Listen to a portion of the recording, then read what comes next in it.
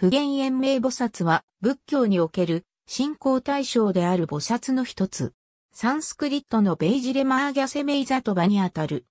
普賢延命菩薩像大安楽不空真実菩薩は、悟りを生み出す知恵を持つとされ、この菩薩が制定した禅情に入れば、時の限界を超越した安楽な命が生成されるとされることから、普賢延命と呼ばれるようになった。普賢延命菩薩は、普賢菩薩から派生した密教系の菩薩像であり、女祭、長寿などを記念する手法、普賢延命法の本尊として造像される。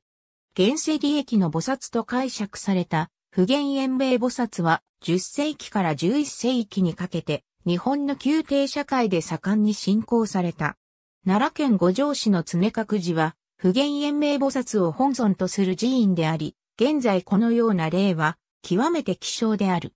普賢延命菩薩の造用には、大蔵会曼荼羅の大安楽不空真実菩薩と同型の二十、肘像と金剛去ったと同様に、金剛書と鈴を持つに、肘像がある。二十、肘像は真言系、二、肘像は天台系とされる。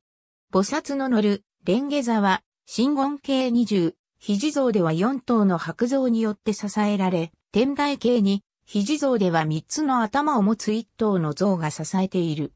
絵画では、京都府の松尾寺の2、肘像、広島県の餅、三寺の20、肘像のような名品がある。また、アメリカ合衆国のボストン美術館には12世紀の普賢延命菩薩像が収蔵されており、三頭一体の像が菩薩を支えることから大密系の菩薩であることがわかる。彫像としては、奈良県法隆寺大宝蔵殿の二十、肘像などがあるが、異例はさほど多くない。ありがとうございます。